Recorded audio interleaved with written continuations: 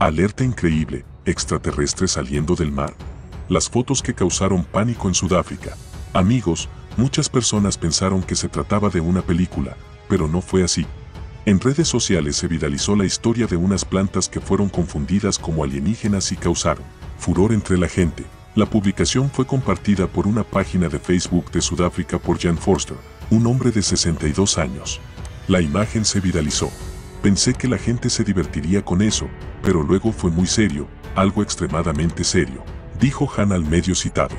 Los hechos ocurrieron en la ciudad de Stelbe, ubicada en el Cabo Occidental de África, en donde el hombre vio las plantas muertas de la especie Aloe Garofarax, que parecían a monstruos con tentáculos.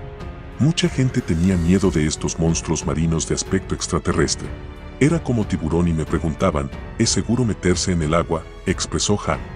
La razón por la que Baste compartió las imágenes en su Facebook fue para generar conciencia sobre el daño ambiental que causan los humanos. Fue él quien tomó las plantas, las alineó en la playa para que parecieran monstruos y tomó la fotografía.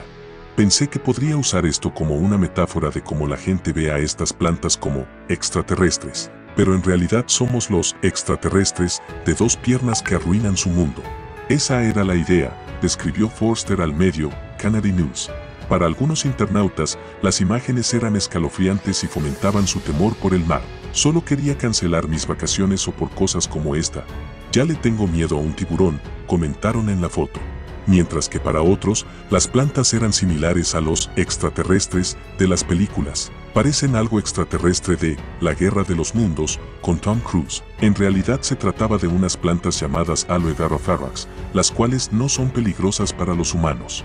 Las aloe vera miden 2 a 3 metros de altura, tienen las hojas dispuestas en roseta, son viejas y se curvan en el tallo.